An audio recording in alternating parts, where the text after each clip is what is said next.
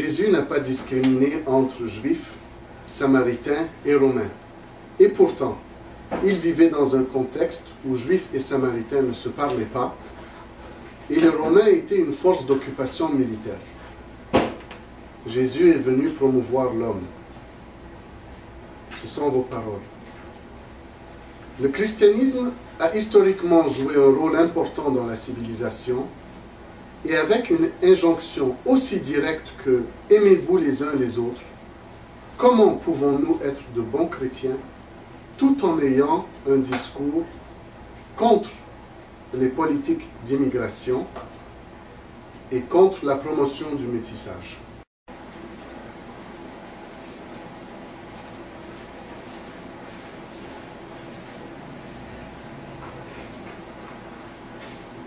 Nous sommes appelés à un monde multiculturel qui est en train de s'installer sous nos yeux un peu partout dans le monde. Le problème du métissage et de l'intégration ne s'est jamais posé de façon aiguë avec euh, tous les immigrés du Québec euh, jusque tout récemment avec ce qu'on appelle l'islamisation du Québec, qui est parallèle à l'islamisation de l'Europe et de l'Occident en général. D'où vient que l'islam pose une question à part qui ne s'était pas posée avec les autres cultures, les autres religions?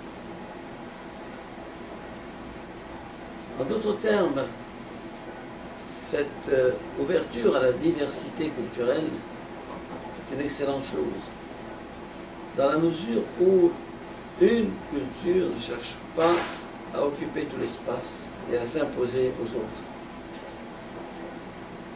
Or, ce qui est clair, c'est le discours musulman dans le monde entier euh, dit clairement que ce qu'il cherche, c'est à occuper l'espace, à devenir majoritaire, et à imposer leur euh, droit, qui est la charia, et leurs valeurs, à la société d'accueil. À partir de là, il y a extrême vigilance à avoir pour ne pas que les sociétés d'accueil perdent leur identité et finissent par être absorbées par cette euh, culture, cette religion qui est en train de pénétrer à toute vitesse dans un Occident de plus en plus dénatalisé, de plus en plus vide de sens, d'idéologie, de croyance et de référence. C'est là que un certain discours qui consiste à mettre en garde ces sociétés d'accueil contre une hégémonie qui se déclare elle-même conquérante et qui l'a toujours été dans l'histoire car il faut bien dire que historiquement l'islam a toujours été intégrateur, jamais intégré. L'histoire est là pour en témoigner. Il y a une espèce de, euh, certitude que l'islam étant la dernière religion, parmi les trois religions monothéistes, elle a nécessairement raison. Et son projet foncier, originelle, liée à son identité, consiste à islamiser le monde. Les musulmans le disent clairement, et se réfèrent à leur source originelle. À partir de ce moment-là, considérer qu'une réaction contre cette, euh,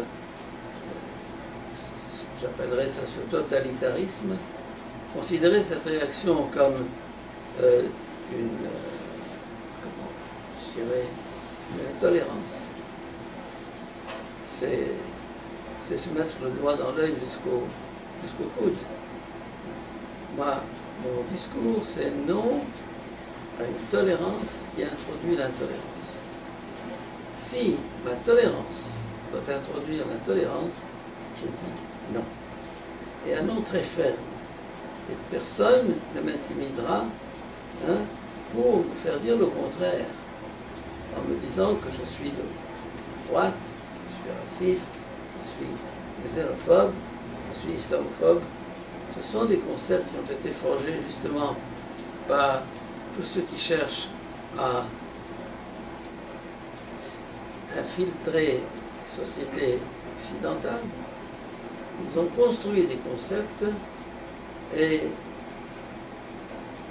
les ont pratiquement justifiés par une législation, une jurisprudence qui finalement fait taire toute voix discordante.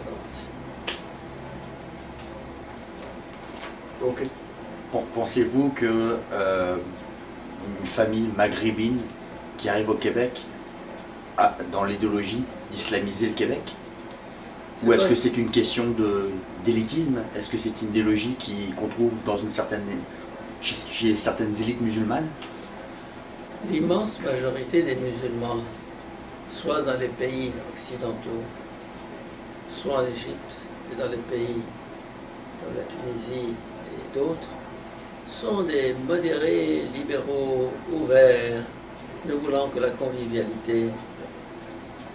Le problème, c'est que est prouvé historiquement que ce sont les minorités qui font l'histoire et non pas les majorités. Et que ces majorités sont menées, menées par des radicaux qui menacent de mort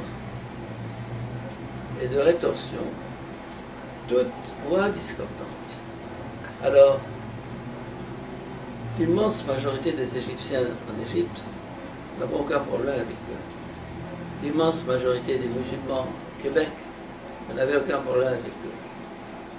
Mais pour celui qui analyse le phénomène, hein, il constatera, s'il est honnête, hein, s'il ne tombe pas dans le politiquement correct, s'il est honnête, il constatera que derrière cette majorité de musulmans ouverts, qu'il y a une radicalisation qui est opérée dans les lieux de culte, les mosquées, les associations musulmanes, l'enseignement, etc., hein, qui vise justement des buts politico-religieux ou religieux-politiques qui, euh, à terme, visent une hégémonie de l'islam. Euh, je viens de lire il y a une demi-heure un email de la Suisse. Un canton de Suisse vient de découvrir que l'enseignement religieux des écoles coraniques là-bas appelle à la discrimination contre la femme, contre le non-musulman, appelle à l'intolérance, etc. Et ils ont intenté un procès à ces écoles en Angleterre, on a découvert l'année dernière que les manuels scolaires des écoles musulmanes contenaient des énormités, mais des énormités incroyables.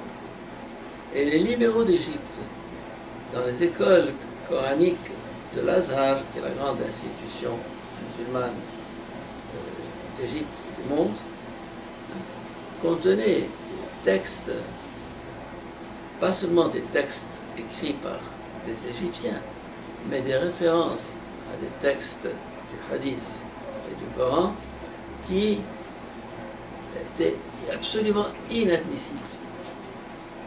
Et on finit par s'apercevoir que derrière cette majorité de musulmans ouverts et tolérants et libéraux, il y a un plan d'infiltration qui est mené par une minorité déterminé, convaincu et hyper financé. Voilà. Hyper financé par qui? Qui a intérêt à. Sachant justement les politiques, connaissances que Hyper financé par les, les monarchies du Golfe en particulier. Et l'Occident n'est pas neutre et n'est pas étranger à cela, car l'Occident actuellement est en train d'instrumentaliser les frères musulmans et autres radicaux islamistes pour des intérêts géopolitiques et financiers et économiques énormes. Et donc, euh, il y a une ambiguïté fondamentale actuellement dans cette avancée, progression de l'islam un peu partout, et son instrumentalisation par l'Occident qui cherche son intérêt. Alors, comme je ne suis pas un politicien ni un politologue, je ne peux pas donner une analyse complète, exhaustive du phénomène, mais je suis suffisamment au courant de ce qui se passe hein, et je suis euh, quotidiennement, plus que quotidiennement dans les Internet, euh, les nouvelles, pour constater que se taire dans un contexte pareil, c'est devenir complice d'un avenir très sombre. Et que l'Occident est en train de brader en quelques années l'acquis de plusieurs siècles. Par naïveté, par tolérance, par un discours politiquement correct, j'ai été invité par le gouvernement suisse l'année dernière à Berne à la conférence annuelle des diplomates suisses dans le monde. Pour parler de quoi? De la liberté d'opinion et d'expression. Mon texte est là, il est très fort. Il n'a pas été bien reçu par mes auditeurs, qui m'ont trouvé un peu trop carré. Mon discours est que la liberté d'expression est intimement liée à la démocratie. Pas de démocratie sans liberté d'expression. Et si on veut supprimer la violence physique, il ne faut pas la faire entrer par la petite porte et la remplacer par la violence morale. Et c'est ce qui se passe actuellement.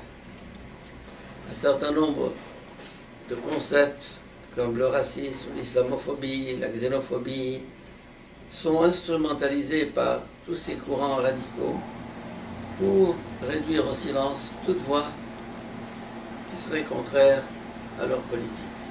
Et l'Occident est tombé dans le panneau et continue. Ça se fait aussi bien en Europe que ici.